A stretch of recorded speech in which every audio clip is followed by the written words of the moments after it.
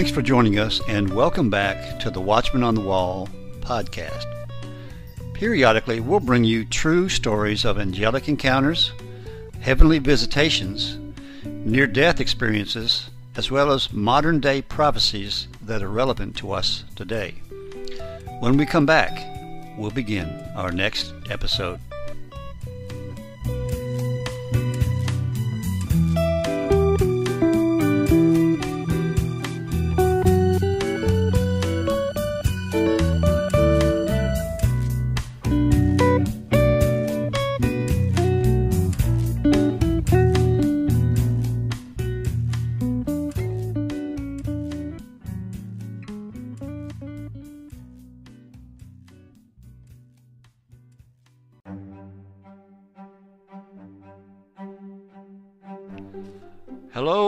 Welcome back.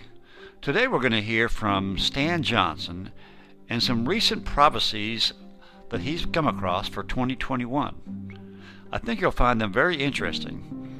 They seem to go right along with those dreams that Dana Coverstone has had. The following comes from a recent episode of The Prophecy Club.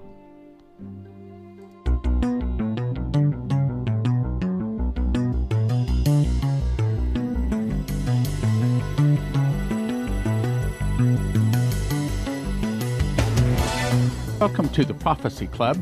I'm going to bring you a prophecy that was just given September the 23rd, 2020. It comes to us from a prophecy out of London, England. His name is Tomi Arayomi. I'm going to talk about this because I've listened to several of his others. He sounds like he's probably hearing from God, had a supernatural experience, and sounds everything sounds correct.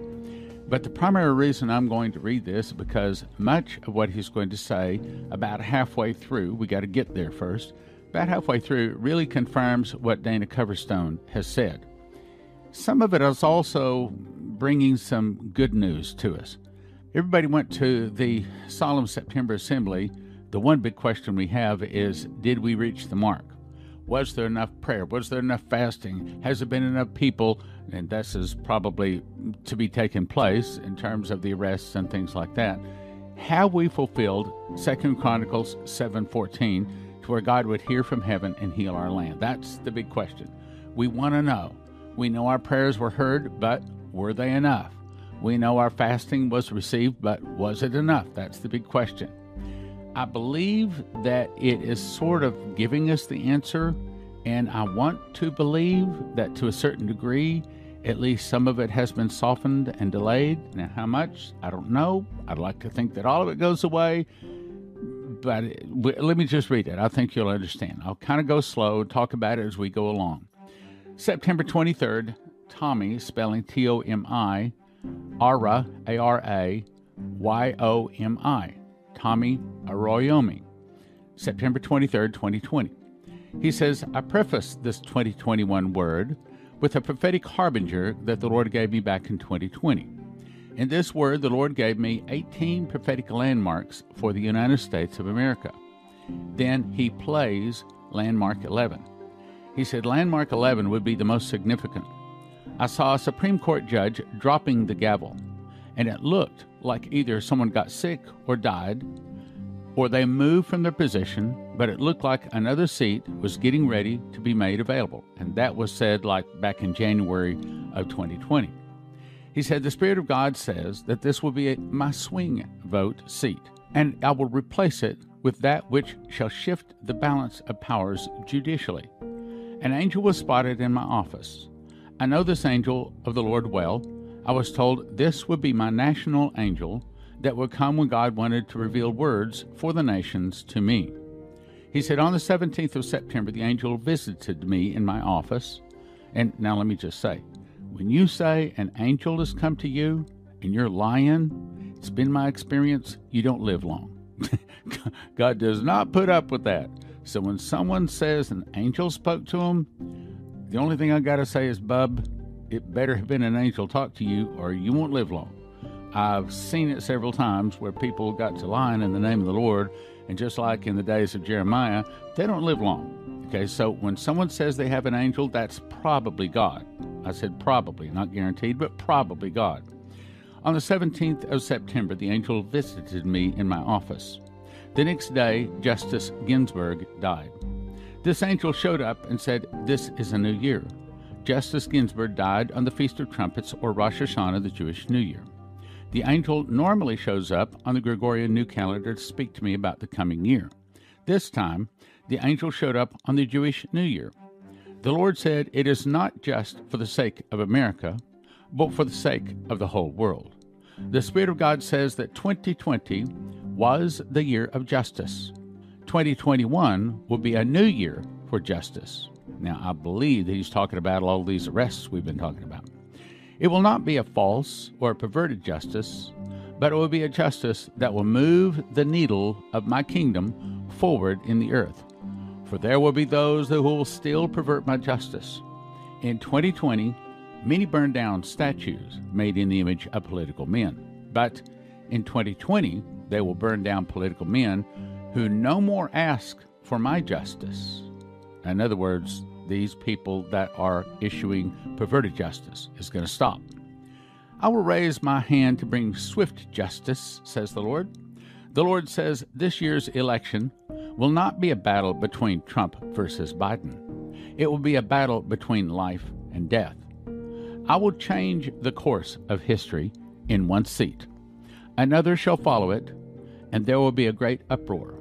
Well, that certainly sounds like the replacing of the justice, and that sounds like the uproar over replacing this because when Ginsburg is replaced, that means we will have a conservative court, and that means that we can start removing things like Roe v. Wade and many of the other garbage decisions that have been made. I will sit on this seat, says the Lord. I will move in my 20 year plan to reverse laws that have been changed, the cultures of nations. This will be your hope, where many will say, cannot change the decisions on abortion. Watch as I tip the scales of justice and as I move sovereignly to bring things back on the table that your enemy told was off of the table. Now, the part I like about that is he's saying a 20 year plan. Look at if the world has 20 more years before Jesus returns, that's real good news.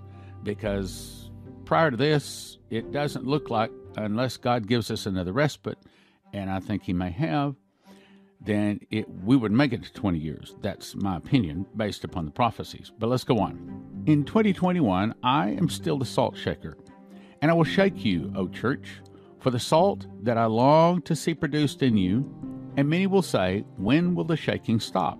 And I will declare, When you are unshakable, says the Lord.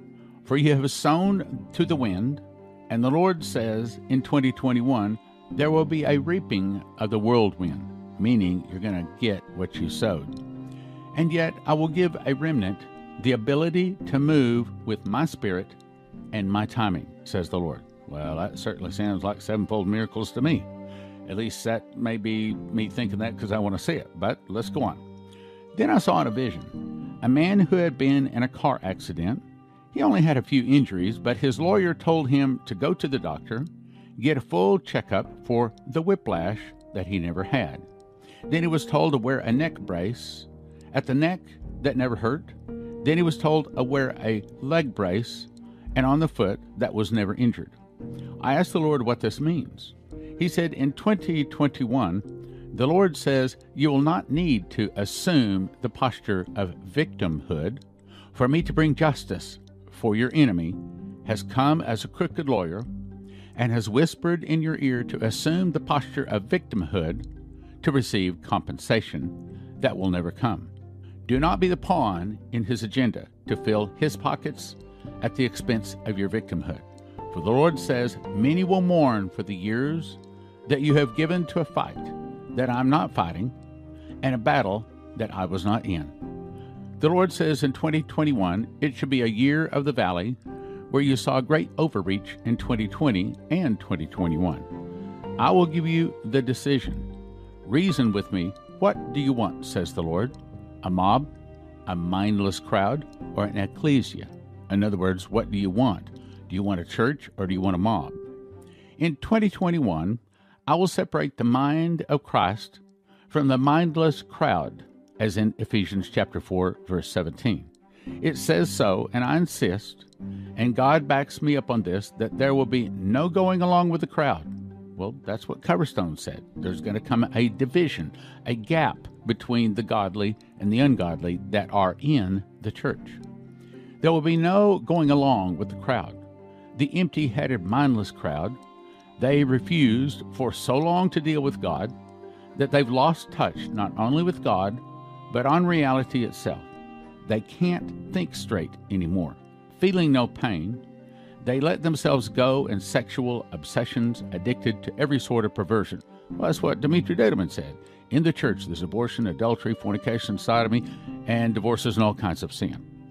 The Lord says, I desire to bring my justice, and not a justice that is far off, but a justice through my ecclesia or my church that will regain lost territory and clean out dirty swamps. He's saying that the church will be cleaned up and then the church will begin to clean the nation.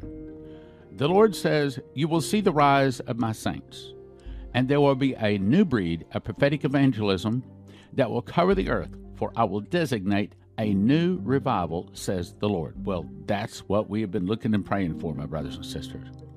There is the rise of a new throwback. And the Lord says, I'm rising up in the earth as a global move. Here it is, here it is. You're going to love this part. As a global move, the tent meetings again will return. The glory is back in the tents, says the Lord.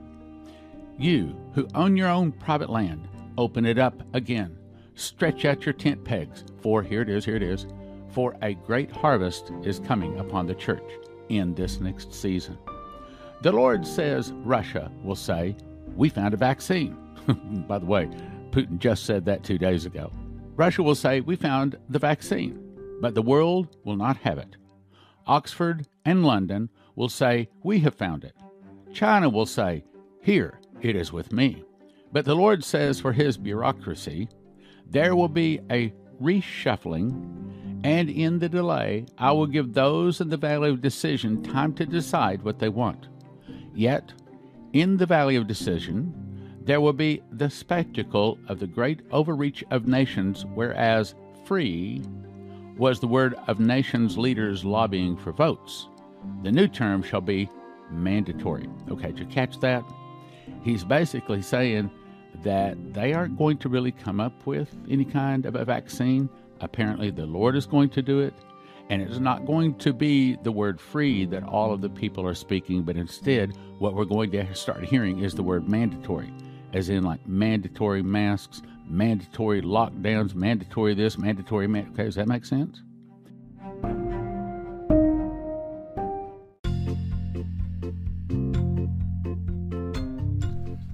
Hello again. This is The Watchman. Please join us each week for an exciting and inspirational podcast dealing with angel encounters, heavenly visitations, near death experiences, as well as modern day prophecies that are relevant to us today. So tune in each week and share it with your friends. After all, they could use a little inspiration in their life, too. That's the Watchman on the Wall podcast, and now you can find us on YouTube.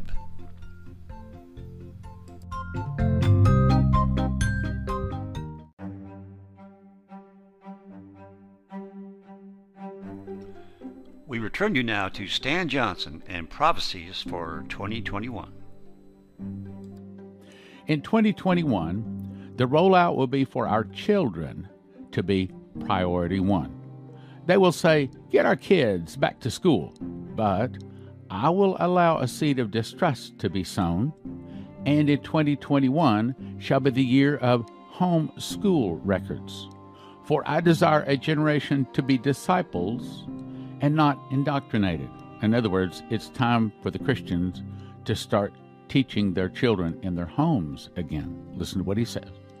If those in the valley of decision will partner with me and sacrifice, I will raise up a mother in one house to teach while the father works, and a father in another house to teach while the mother works.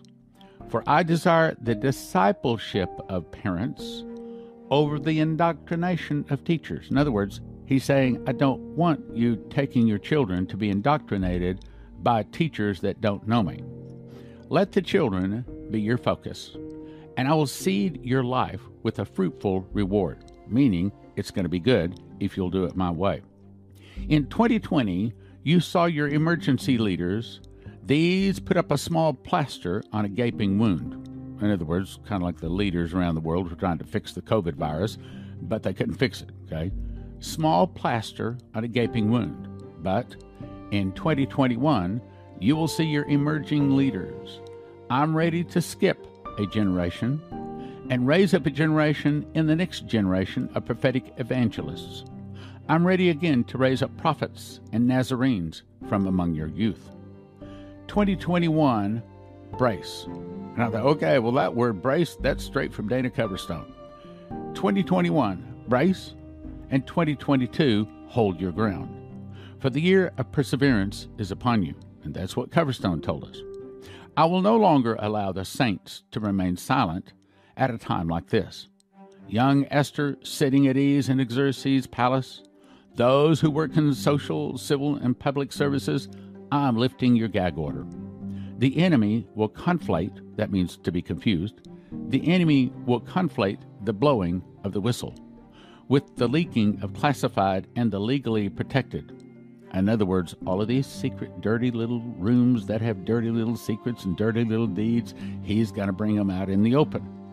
The legally protected, but I will expose medical malpractice, patient mistreatment, clinical trial malpractice, political malpractice of local and state multinationals, that's multinational businesses, including banking malpractice. Well, good, I say.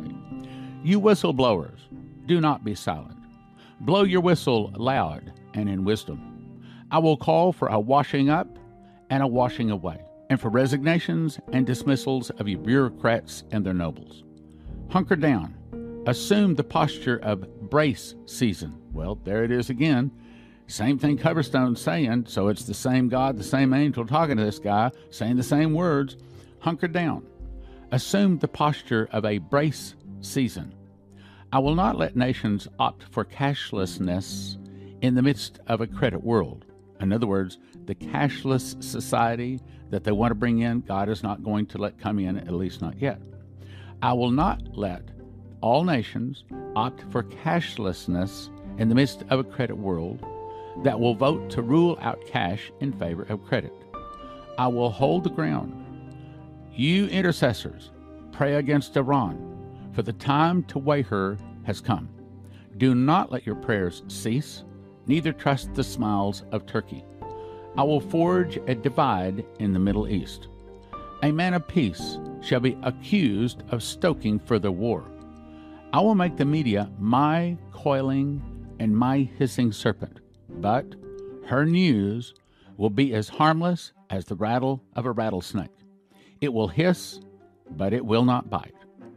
A greater move in Europe will come to recognize the threat that China poses, and it will be led by the US, the UK, and Australia. A battle for freedom will steamroll into a freedom in the nations that only Christ can truly bring. I saw frustrated people reaching their boiling point for democracy by convenience.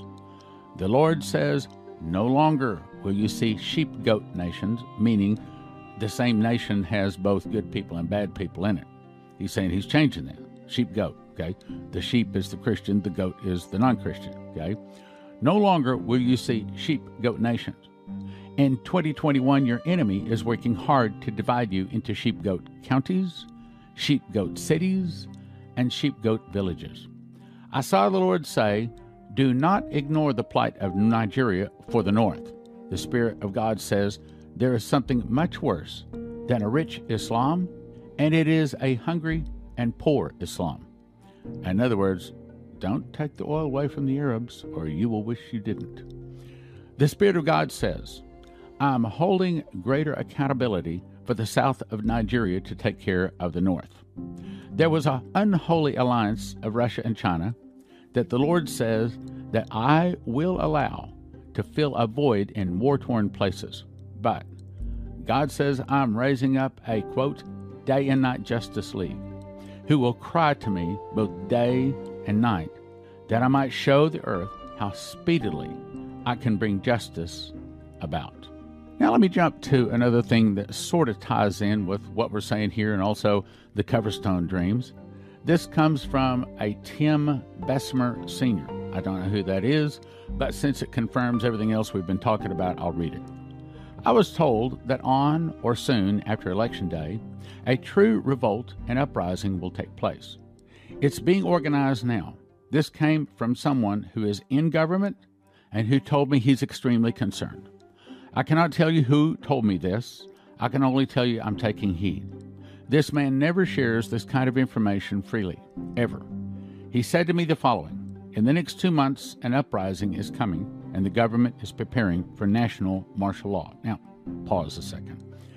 I got a phone call yesterday, and it started off, it was from the RNC. That's what the caller ID said. And they were calling asking for volunteers to show up at the polling places to, how do I say, watch and observe them and to be seeing that everything is done decently in order. And to tell you the truth, I wanted to say, yeah, I'll do it, but I was also a little afraid to do it because I don't need to get out there and get wound up in some kind of a scuffle and the devil pulled me in and all of a sudden I'm in a sticky wicket legally, mess up everything we're trying to do. Uh, but I, I talked to the lady briefly about some things we know, and she knew a lot of them. And she was a college student. College students knowing the kind of things going on, I was a little shocked. Okay, so let's get to the things this guy says. He said to immediately stock up on goods needed to survive and support life for your family food, water, paper goods, defensive weapons, and, and amazingly, he emphasized having on hand spare fuel and a generator. He is worried for his family Again, with his position, this statement shocked me. He told me that anarchist groups that are growing in this nation daily will begin with much larger and broader protests than they're having now, and they will move them swiftly into suburbia. In other words, it won't just be downtown cities, it'll be out here where you and I live. Okay? They will be Democrat hierarchy supports it. They will employ, quote, shock and awe tactics. Well, once again, that's right out of a Coverstone dream, word for word. They will employ shock and awe tactics. They will employ lockdowns that are mandatory to minimize organized public resistance, as in, don't leave your home, just like we've been talking about right here. In other words, again, ask yourself if you cannot leave the four walls of your home for a year, I mean, it's not safe or they won't let you or something like that, are you prepared? Do you have water and a filter to see that it's clean? Do you have air, a way to make certain that it's clean and the garbage is filtered out of it from the suitcase nukes or whatever it is? Do you have food? I mean, food that's not going to go bad because your refrigerator stopped working. You see what I'm saying?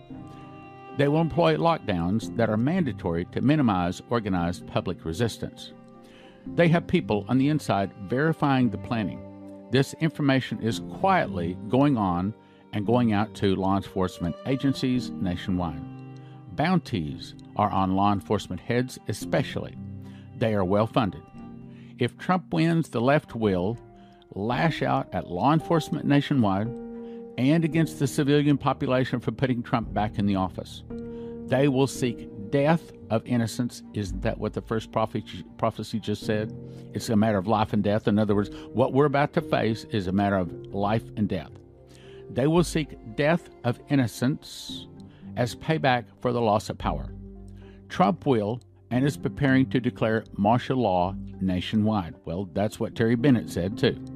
If Biden wins, the left is planning to unleash fury on the nation and citizenry as payback for the last four years of Trump. JB will openly advocate for the further defunding of the majority of the police nationwide, and HK will rule by proxy. Fringe groups must and will be destroyed by force, and that plans are being made to do this and restore law and order. But until all of the storm passes, and that comes right out of what Shane Warren said, it's going to get bad even in the rural areas, as in where you and I live, so that the left can have maximum, quote, shock and awe, straight from Coverstone, effect, and drive fear into the nation to submit to BLM and the Democrat New Order. To lay it out plainly, he is talking of a true civil war brewing and that they are preparing for it at the highest levels. I'm taking what I heard tonight seriously, and we're preparing. I implore you to do as well. I'm the author of this, Tim Sr. Okay, well, we have all heard that before. We've heard that from various voices out there. None of that is new. But here's the thing let me ask you this, brothers and sisters. Have you prepared? So let me ask you this, brothers and sisters. Do you have some gold and silver in case? Do you have a really good, serious air filter? Do you have a good water filter? And do you have some water stored up? I'm talking about, well, if this all lasts until March 27th or Passover 2021, as Coverstone indirectly has said, that's about six months.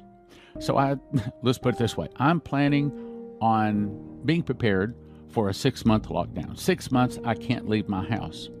Have you thought about it? Do you have food? Do you have water?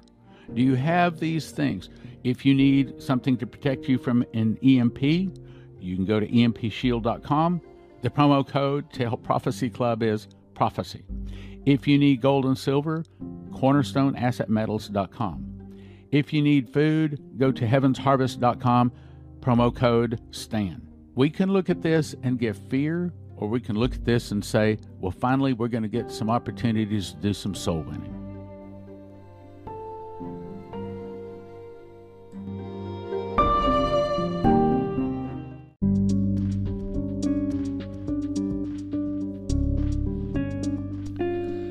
Are you interested in scary places?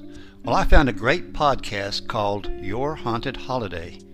Each week, sisters Lisa and Lindsay will take you to some of the most haunted places in the world.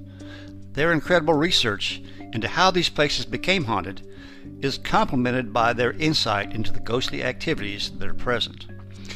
They give you information on ghost tours, prices, and much more. That's Your Haunted Holiday. You can go to yourhauntedholiday.com or just listen to wherever great podcasts are found.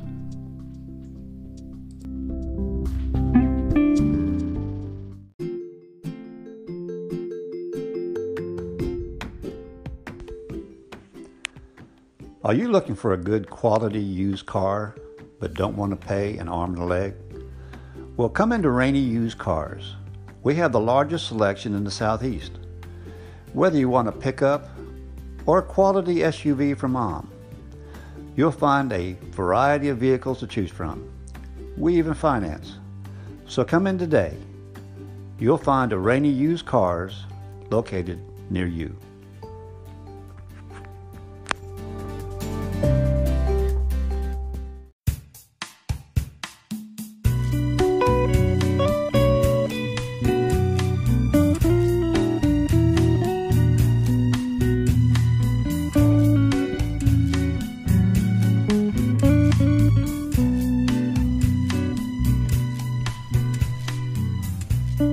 Thanks again for listening. And if you enjoyed this episode, please share it with your friends. Also, give us a like. We welcome any comments or suggestions you might have. We also ask you to subscribe so that you will be notified of all our future episodes. Thanks again, and we'll see you next time on the Watchman on the Wall podcast.